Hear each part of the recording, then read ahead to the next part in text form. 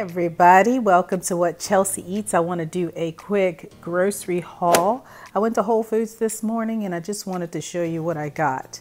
So we're going to start over here with some organic cucumbers and I got those for salads.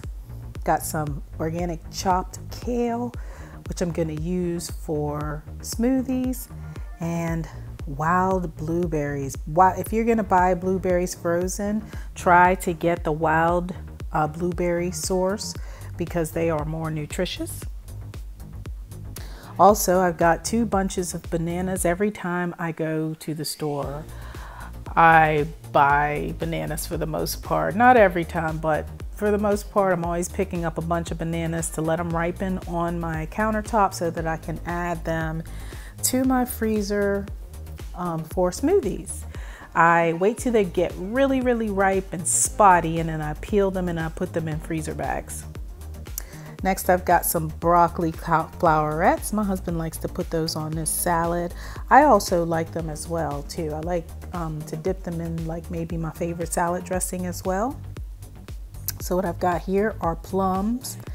It is they are plentiful right now. I'm not sure if it's plum season, but I'm imagining they are. It is since I'm seeing a lot of them in my local stores.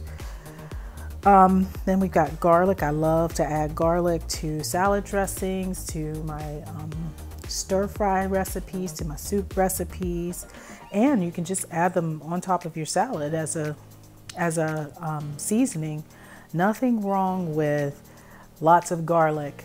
It makes things taste great red onion. I like red onion for my salads. I pretty much put red onion in just about any salad that I make. And then I have been replacing my seasonings because I was running out. My son was um, with us for a while and he uses lots of herbs and spices when he cooks. And so I was like, hmm, I think I have to replace some of my spices. So I've got some red pepper here, red pepper flakes, cumin, and onion powder. And then I got some convenient spring mix. My husband likes to use the spring mix. I'm not a spring mix fan, but I will use it. It's definitely convenient because you don't have to do anything with it. You just kind of open the package and put it in a bowl. My favorite is red leaf, green leaf lettuce, Boston lettuce, soft lettuces. I even like romaine too, but this is for me. Nobody better not touch it except for me. Um, then I've got um, some vine ripened tomatoes. They are um, delicious.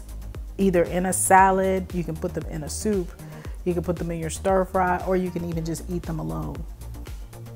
And last but not least here, I have got some avocados. They're not ripe yet, so they're still nice and firm.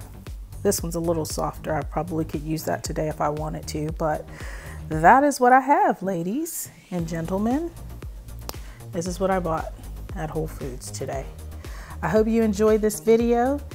If you like this video though, please hit the like button, throw a comment down below, tell me what you would like to see uh, going forward. Also, if you want to see what I got from the grocery store or grocery hauls, there should be a link down in the description box with a playlist of my grocery hauls so you can see what types of foods that I buy on a regular basis.